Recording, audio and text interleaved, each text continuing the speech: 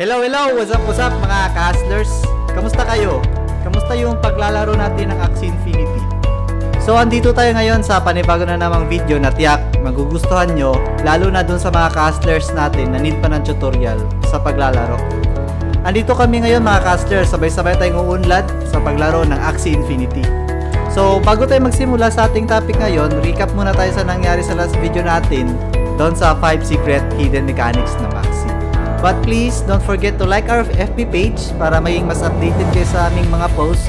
At since nakapanood kayo ng video na ito, please subscribe naman dyan and i-on nyo yung notification bell para lagi kayong updated sa mga videos namin. So bakit nga ba maraming nahuhumaling dito sa Axie Infinity? Imagine nyo guys ha, na ang chance nyo to earn a month salary ay pwede nyo makuha in just weeks sa paglalaro lang nito.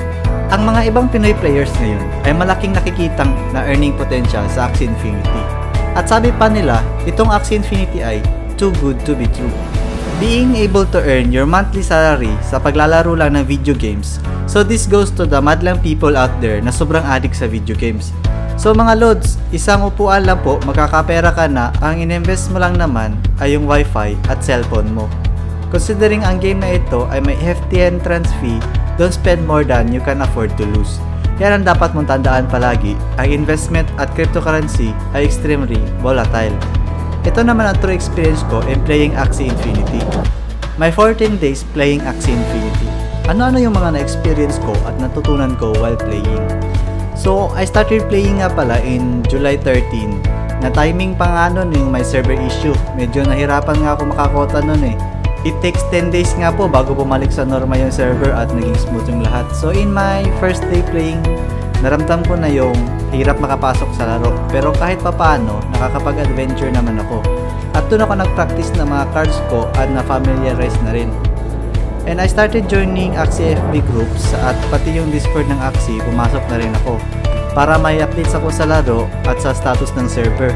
Medyo napuyat talaga ako kasi laging nadi-disconnect, hirap makakota, pero possible pa din naman makakota, basta may tiyaga lang. Naka-earn ako ng 130 SLP in my first day. In my second day naman, medyo lumala yung server issue dahil na din dun sa DDoS attack ng Saxi server. Nadi-disconnect ako in the middle of the match, losing my energy and to chance na manalo. Misa nga one hit na lang yung kalaban, sabay madidisi pa ako pero okay lang din naman dahil nag-update naman yung access sa Discord nila kung anong nangyayari sa server at kung ano mga next move nila para ma-fix ito. So in my third day, na solusyonan na po yung DDoS attack sa server and that day I earned 142 SLP. It takes 9 days pa po bago maging smooth yung lahat at masasabi ko nang worth it talaga yung maghihintay kasi hindi na po nadi-disconnect ngayon and lahat po ng scholar ng Axie Hustler PH is nakakakota na po and sobra-sobra pa nga po yung iba. From that day, ang team namin po ay nag-average na po ng 200 SLP per scholar and if you want to know, our team is using the Aqua Aqua Plant Meta po. Kaya medyo lamang din kami sa PvP pero while I'm playing, nakaka-encounter po ako ng mga Axie na may backdoor na skill. Dito po is na medyo nahihirapan kami kasi namamatay yung Axie ko sa backline and alam naman natin na pag namatay yung attacker mo na Axie, medyo dehado na talaga tayo. So, so I studied the meta and how to counter po. Ito po ang mga isa sa example on how to counter the backdoor strats. First of all, dapat ka makagain ng energy or maka-steal. This is really crucial po kasi pag konti lang yung energy niya, mahirapan siya sa pag-combo ng backdoor sa'yo.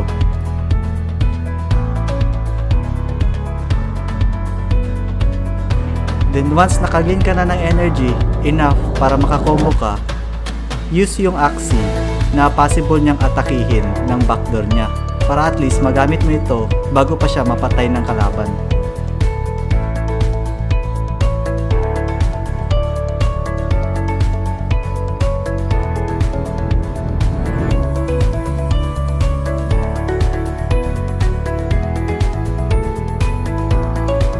Dito po sa round 3, ramdam ko na po na iba-backdoor niya na ako ng bird axe niya.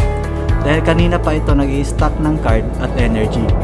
So ang ginawa ko, dahil ako naman ang unang titira sa kanya, ginamit ko na lang yung last card ng axe ko to be more efficient bago pa ito mapatay.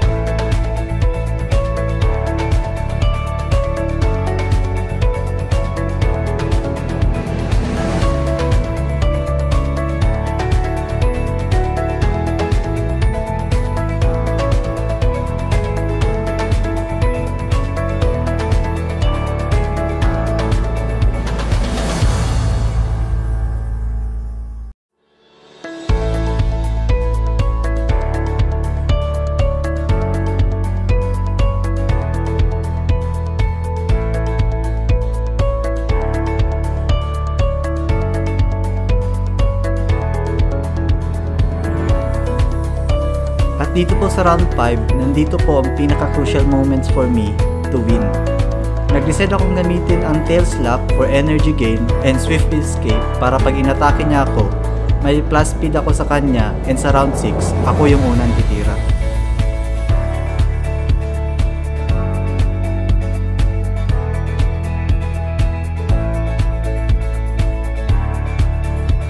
And lastly, sa round 6, dahil sa extra energy na bigay ng tail slap, possible ko na siyang makombo ng 4 stack card.